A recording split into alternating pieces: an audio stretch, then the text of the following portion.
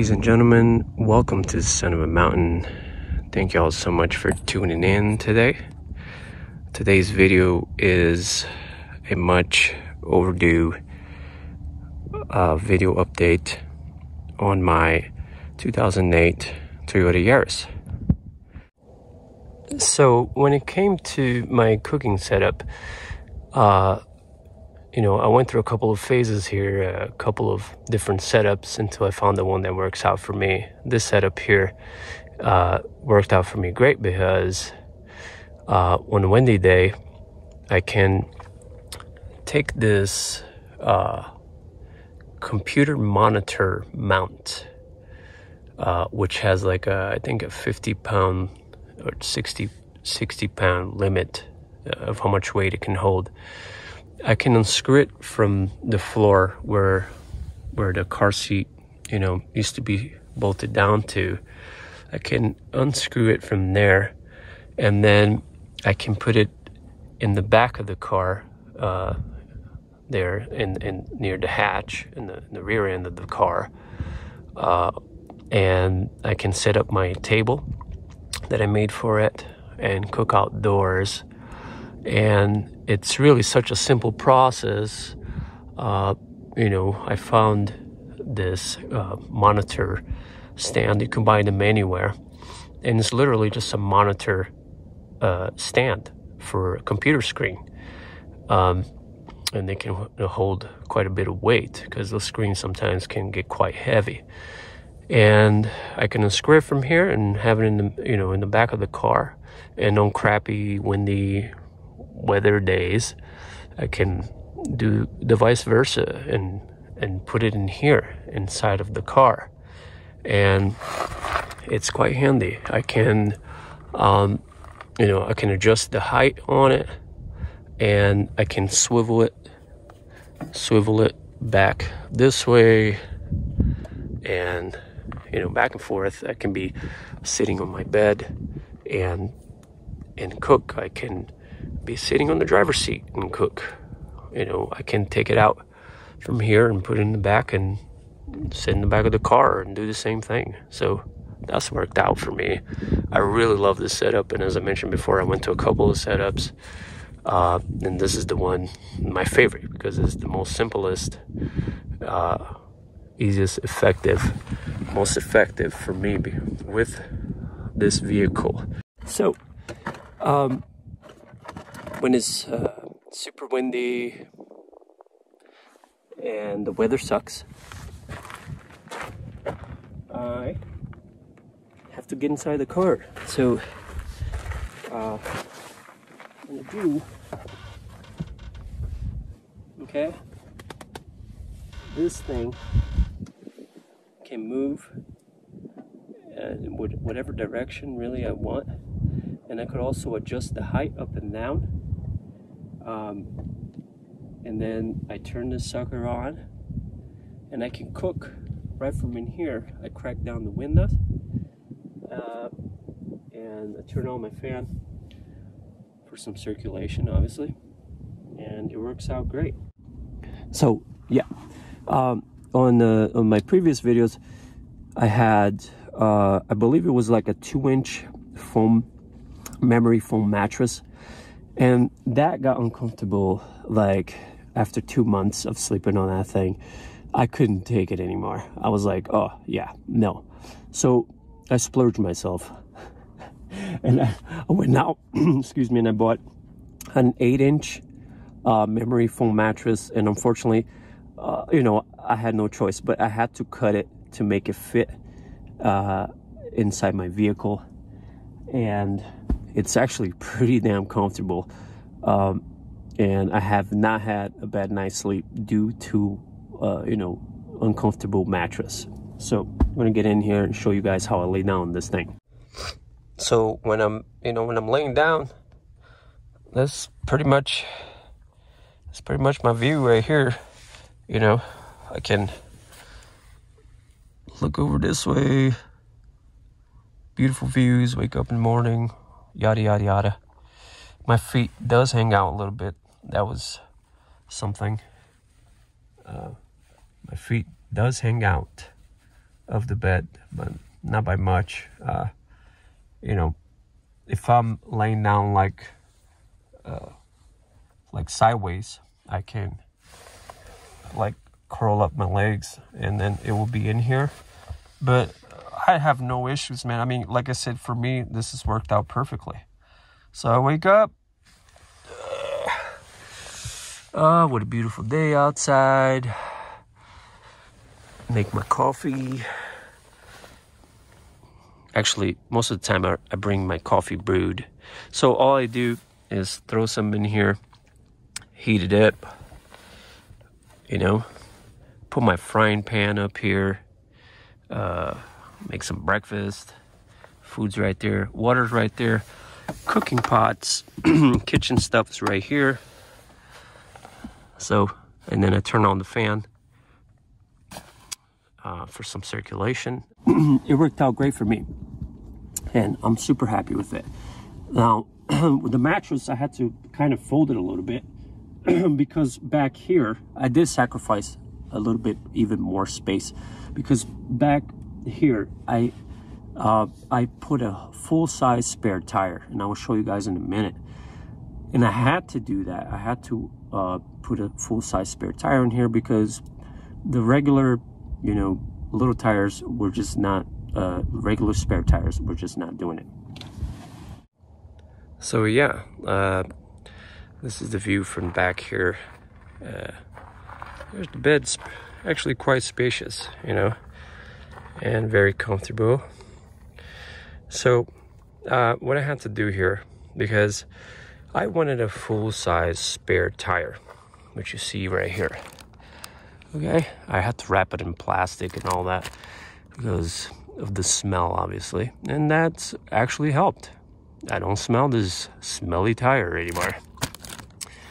So I didn't, uh, on a previous video I had talked about how I wanted to, you know, put it up here, the roof basket and plus the, the spare tire, full-size spare. But that turned out to be more of a hassle than anything because uh, going down washboard roads was a lot of vibrations going on up top.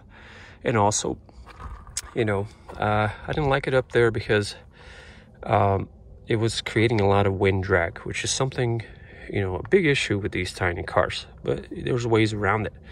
So, sat for a while and thought about how I was going to, you know, add uh, a full-size spare tire because they don't fit down here where the original um, donut uh, spare tire goes. There's a lid under here. So I took the the the little you know puny tire spare tire that was down here and I chucked that, threw it out, and I used the space down there for recovery gear. And up here, you know, I said, well, I'm gonna have to sacrifice some of my sleeping arrangements here, my sleeping quarters. So there's enough space here for me to sleep either sideways or, you know, on my back or whatever. And that's been working out fine. I had to fold the mattress literally because I didn't want to cut the mattress and then sleep next to a tire.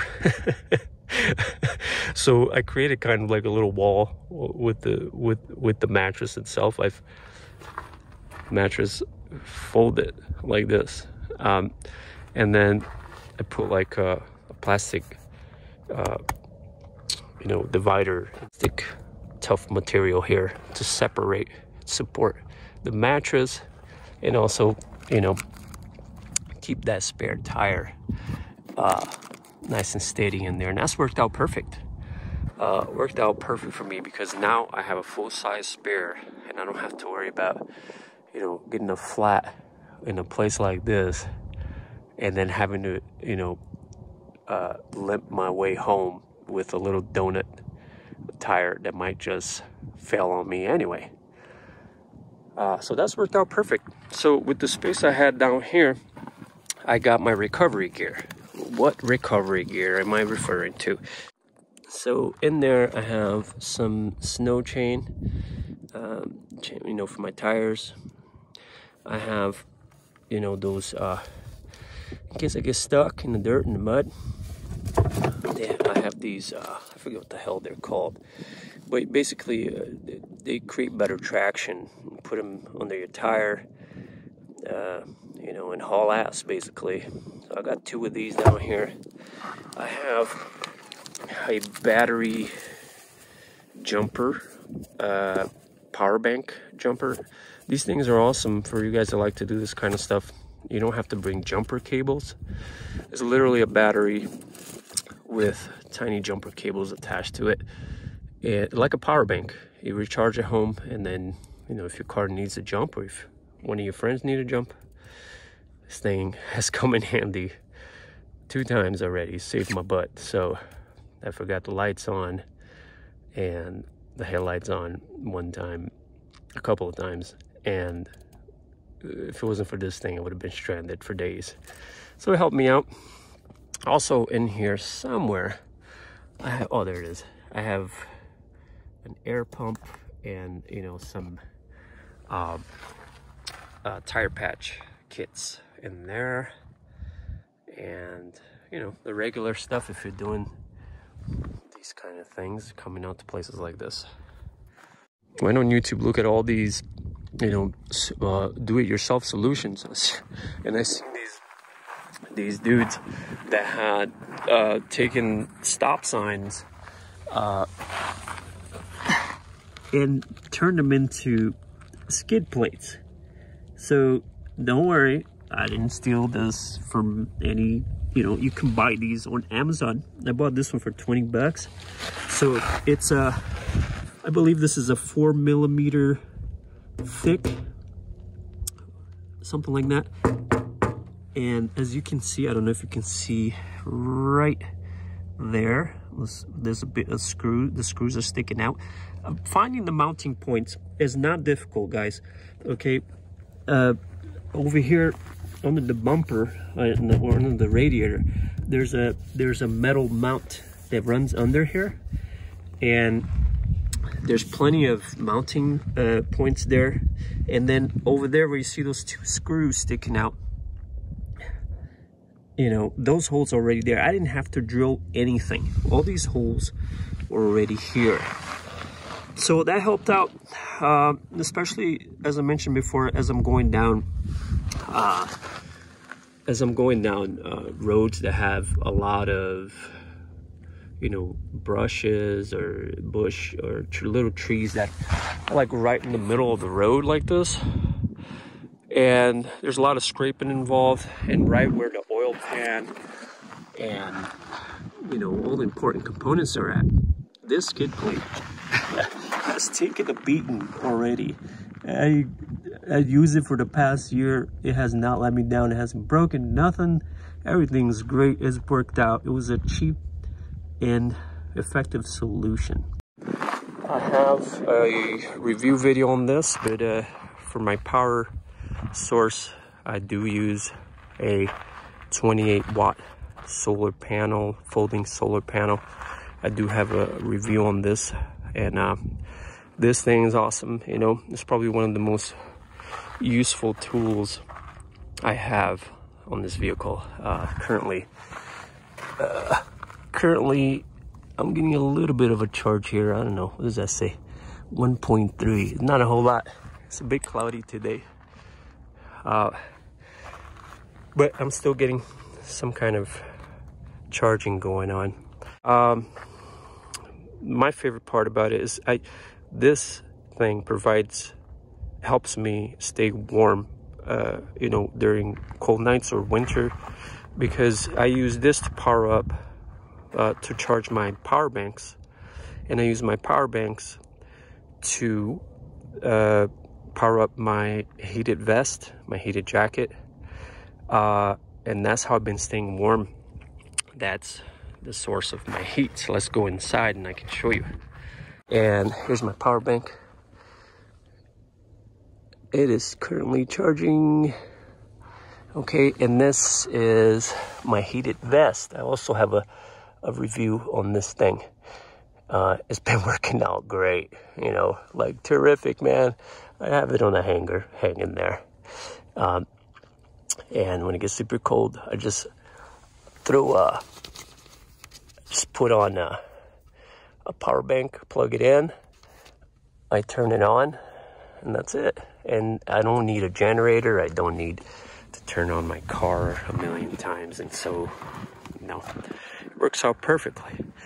Well, also, on my first video, I talked about uh, how I was trying to get some kind of lift on this thing. Just even an inch or two, nothing crazy. Um, I wanted something that was super simple to do. I'm not a mechanic and I didn't want a huge production really like I didn't want a giant project out of this. So I did a whole lot of whole lot of researching and I found these things called uh, uh, strut buffers and they're basically and i'll show you a picture right here. They're basically like these rubber uh, pads that go in between the space of your strut. Uh, it, it, provided uh, a lot of uh, support when it a lot of support when it when it came to bumpy roads. You see it?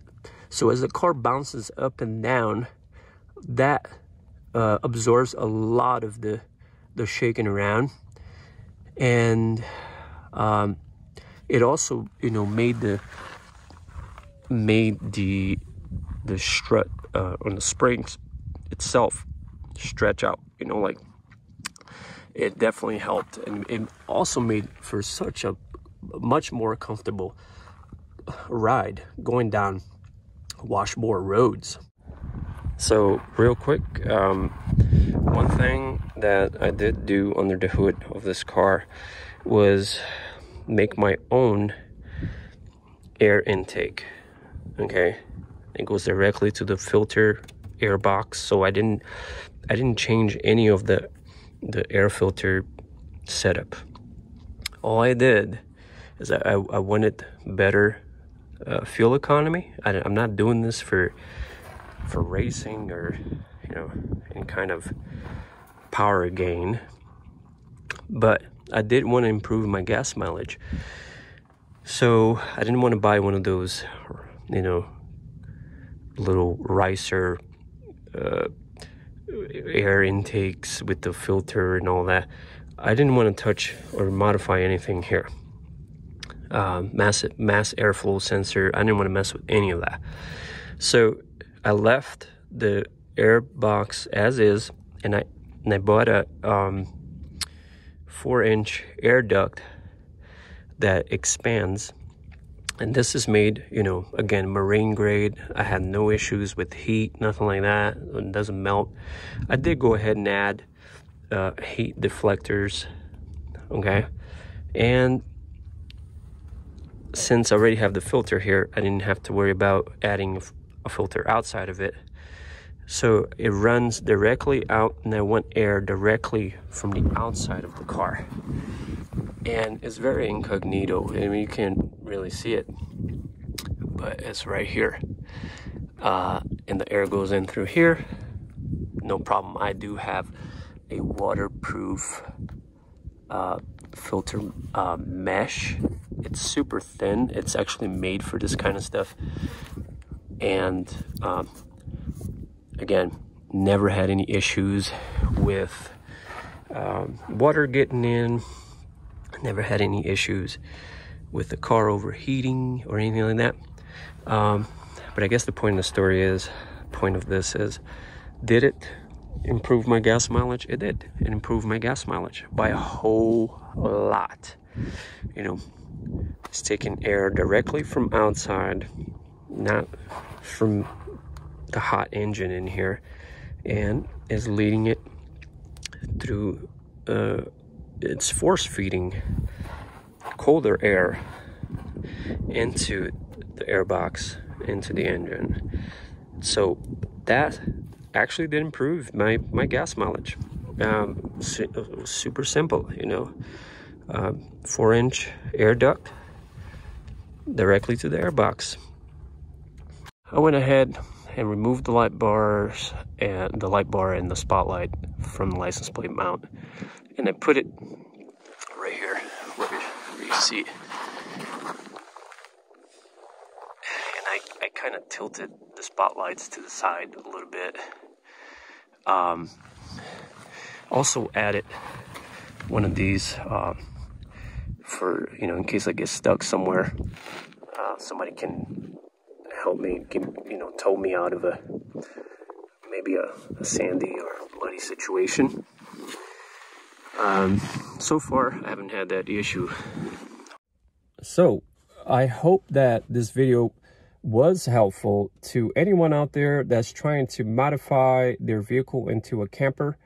Uh, all the stuff I did to this car was not difficult at all. You know, all the stuff, anyone can do this and, and you can do it to any vehicle. You know, if I did it, if I'm doing this with the Toyota Yaris and I managed to do this with minimal mechanical, mechanical uh, or engineering experience, right, then anyone can do it with any vehicle.